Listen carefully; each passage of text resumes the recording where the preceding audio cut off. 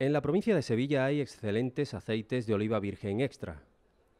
Y para corroborar esa afirmación, año tras año la Diputación de Sevilla hace entrega del premio al mejor aceite de ese tipo en el conjunto de la provincia y de manera específica en las comarcas de Sierra.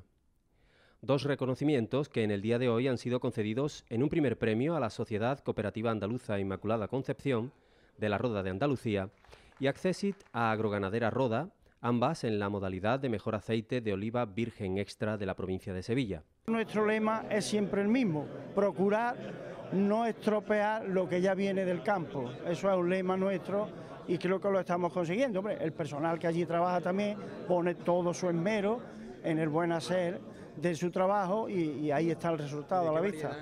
De otro lado, Agroganadera Pérez Racero del Saucejo ha recibido el galardón en la edición de Premio Especial al Mejor Virgen Extra de las Sierras. Somos una pequeña empresa familiar, este año nos parecía que iba a haber menos producción y ha habido una producción buena y además de una calidad muy buenísima.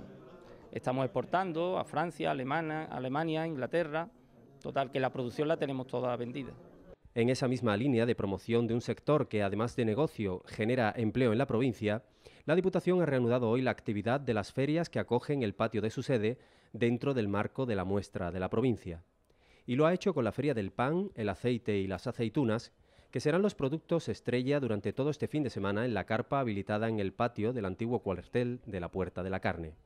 Tres productos esenciales en nuestra gastronomía, que son potenciales en nuestro desarrollo económico, que eh, estamos muy eh, predispuestos a hacerlo y a darlo a conocer en las grandes superficies, en los supermercados y sobre todo en los restaurantes y bares de la provincia y demás. Durante los tres días de la muestra, en el patio de la sede provincial están previstas catas de aceite, degustaciones de pan y aceitunas y la tradicional venta de productos de este tipo.